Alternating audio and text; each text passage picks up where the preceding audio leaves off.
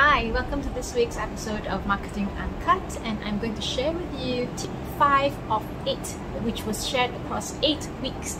So, this week I'm going to talk about incentives um, and contests and giveaways. So, these things would have actually incited some excitement when you heard these words.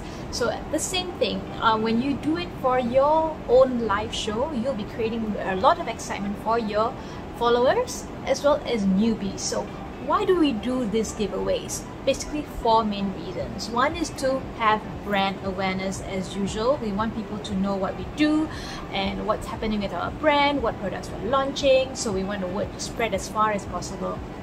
Number two, uh, we want to build a community. Um, brands nowadays, there's so many brands, new brands coming up every single day, every single second, even perhaps. So, how do you build your own community? This is basically to sell your your brand as, as somebody who's an advocate or a voice of the community community that you are targeting. Number three, basically you want to have more subscribers and more followers. So when people are curious about what is this giveaway about? then they might want to check you out on the live show when you're giving away your giveaways. And number four we are doing this because we want sales of obviously right? So we want more traffic to come to our live show when you're giving your giveaways and then you're also talking about your, about your brand and then you're talking about your new products and then you throw the hook which is for them to buy your product maybe during a, a limited time period you know. During the live show only. This price is just available now. Or this product is just available today. Do your bit and leave your comments below. Something like that. So what should you give away? So many things that you can do. But for example if you're a makeup company you don't want to give away shoes. It doesn't really jive with your brand. Likewise if you're if you're selling shoes you don't want to give away plants. It doesn't really make sense unless I don't know if you're in a partnership with a plant company, perhaps, right? Who knows? But it should whatever you're giving away should jive with your brand.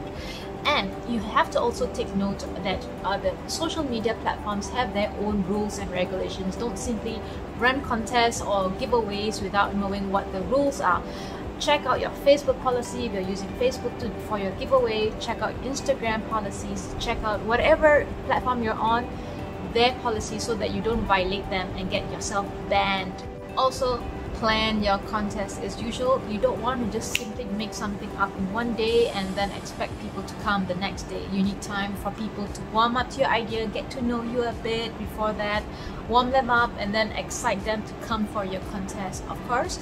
And promote, promote, promote. That is something that everybody needs to do when they want people to come to the channel and to block the date. So what will make them so excited that they want to block the date for you? They have so many things to do. They could watch Netflix, they could watch Netflix. Well, okay, they could watch Netflix. Well, you can do only so much when you're stuck at home, but you know, you, you get the message ideas for your giveaway um some you don't want things to be so challenging for your the people that come to your live show to, to get something free and then you make it so difficult for them to actually win something you just want them to feel excited and feel that they should they would win some incentive for actually leaving a comment in your chat box right? So things that could be simple like um fill up the, fill up this uh, fill up the sentence for example I I go to I, I want to go to Langkawi because blah blah blah. Just leave the comments below if you're giving away Langkawi vouchers for example. Uh, or because if, you, if you're a hotel and you want people to come in advance because now nobody can go out interstate but you want people to know that you're still around your business is still there and when when things get back a little bit to normal you wanted to come to your hotel right? So giving uh, giving away vouchers work. So perhaps what is your best experience in Langkawi if you are if you're a hotel based in Langkawi right?